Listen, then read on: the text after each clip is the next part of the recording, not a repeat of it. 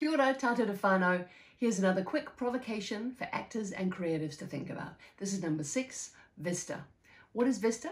Well, it's anything outside the frame that can help make your performance more natural by embedding it in the real world. The real world around us like Davida, who's holding a torch to shine on the page because the light is failing outside. It's raining, the sound of the weather, anything that allows me to acknowledge the reality of where I truly am.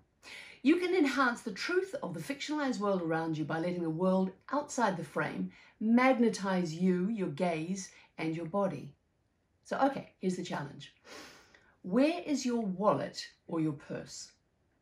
Can you feel it calling you? Where do you think mine is?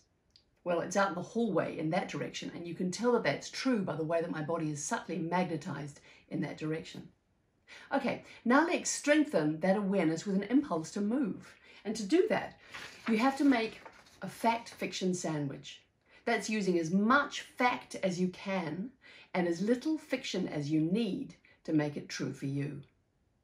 Now, I want you to imagine that someone has stolen your bag or your wallet.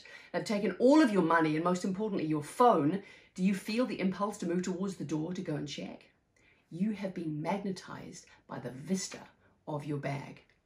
Anything could be your vista the sound of the rain, the, the bookshelf to my left, my, my handbag out in the hallway, as long as it's real and connects you to reality.